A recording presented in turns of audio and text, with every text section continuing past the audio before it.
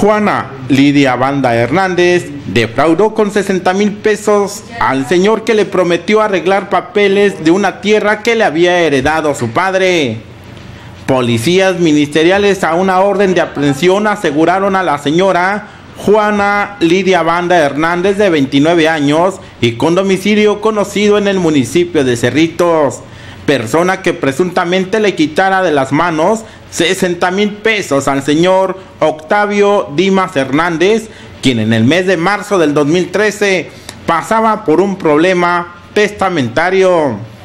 La presunta se ofreció a arreglarle el problema mencionando que conocía a un abogado de talla que le arreglaría el problema de manera rápida, solicitándole a la víctima diferentes cantidades de dinero alcanzando los 60 mil pesos.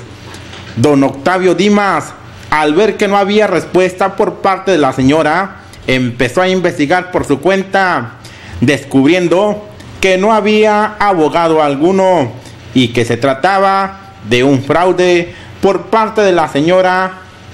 Juana Lidia Banda, a quien denunció ante la autoridad judicial, ordenando el fiscal investigador la aprehensión de la presunta por el probable delito de fraude contra el señor Octavio Dimas.